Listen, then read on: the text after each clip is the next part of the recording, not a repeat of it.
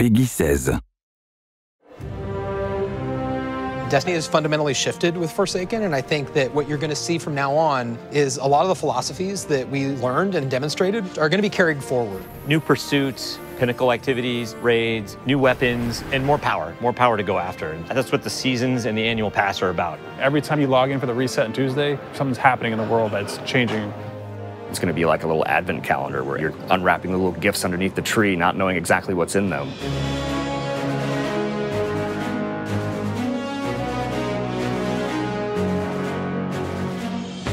We're not trying to do DLCs anymore. We're not trying to introduce a brand new campaign. Instead, what we want to do is deliver three full seasons of content that can last for an entire year and that is coupled with the end game and matches the way players play Destiny.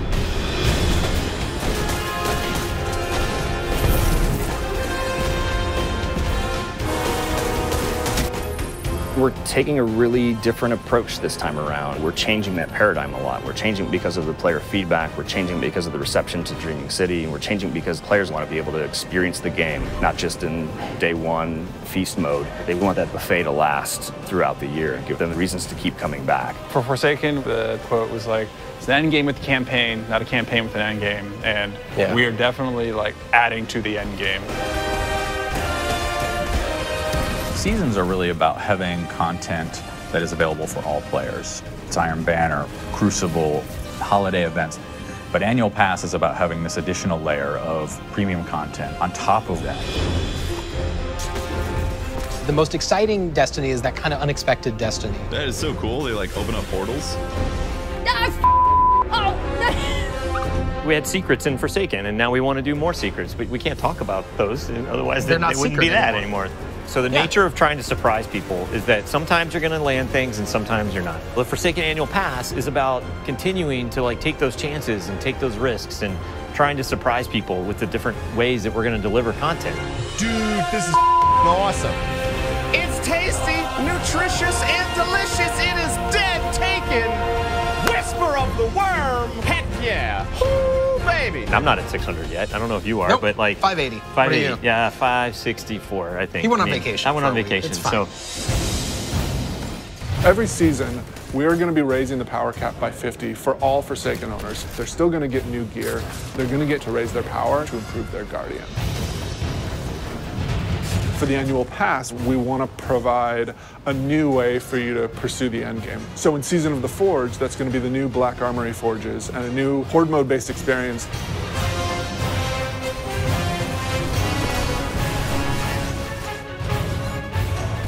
in Joker's Wild, Season of the Drifter, that's going to be new Pinnacle Gambit activities that you can play with your friends.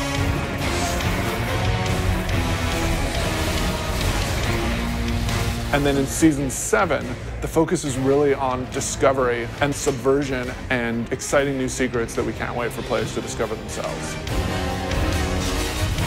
But the annual pass really starts going in earnest in December. That's going to be when you're going to discover the Black Armory. You are not welcome here, Guardian. Ada is representing the Black Armory, a faction that you've never heard of before. The Black Armory is all about mystery. They're all about being the ultimate weapon crafters.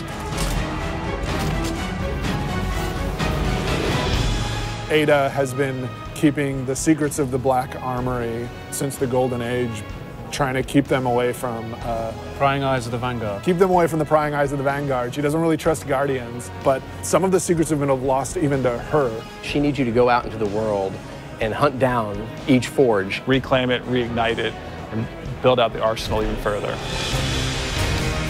You will have to push back waves of enemies so that you can actually get your components into the forge and manufacture your weapon yourself.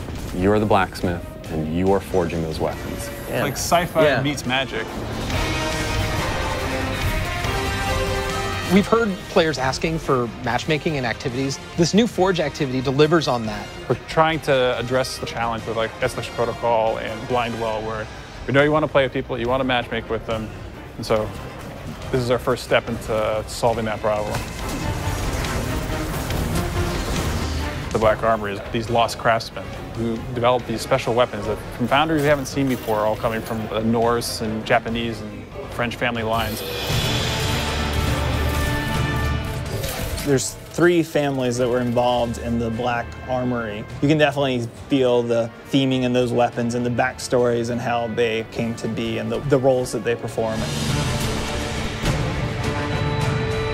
Izanagi's burden is the crazy sniper rifle where you have a magazine of four rounds and if you do the special reload, it actually crams all four bullets into a single round that does damage. That is brutal and will like totally compete with Whisper and Sleeper. It's a sniper rifle that can body shot an enemy.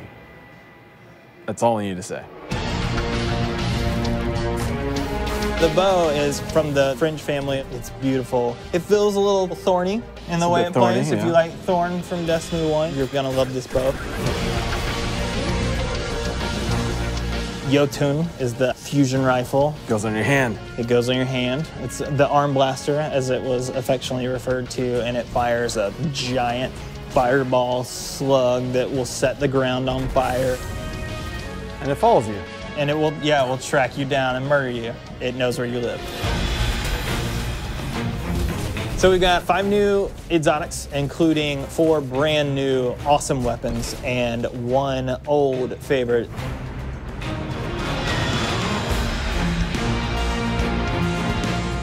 We have new legendaries, including the returning archetype of the machine gun. And then we've got a bunch of new weapon mods for you to configure. And we have new perks that uh, basically you have more options within columns. You have So, more like, options within columns. If I had like Rampage and then Dragonfly, I could I could choose to pick between them. Yeah, you can choose. You can choose. In Black Armory, it's about new weapons, new activities, and doing all the pursuits to get more powerful to go into the raid. We're gonna mix it up. We're gonna go to the city. Like we've never done anything Yeah. like that before, and it's awesome. And you drop straight into this old part of the city that you haven't ever been in because it's it's been off limits. It's about the unexpected. It's got vehicles, it's different in a very refreshing way. It's a throwback to Wrath of the Machine style combat. It's it's much more focused on high action, high adrenaline. Keep the throttle pegged. That would be my uh, my advice. We really don't want to be a box product that you think of as being on a disc. We want to be a world that evolves and changes over time. Anytime you try something new, it's going to be uncomfortable. It's going to be scary, but we got to forge ahead. Like the world's changing, games are changing. It's time to set a new course. Yeah. We don't want to play it safe. We want to take risks, and we want to have this annual pass explore some of these areas that we haven't done before. We think that started with Forsaken, and we liked what we did, and we want more of it.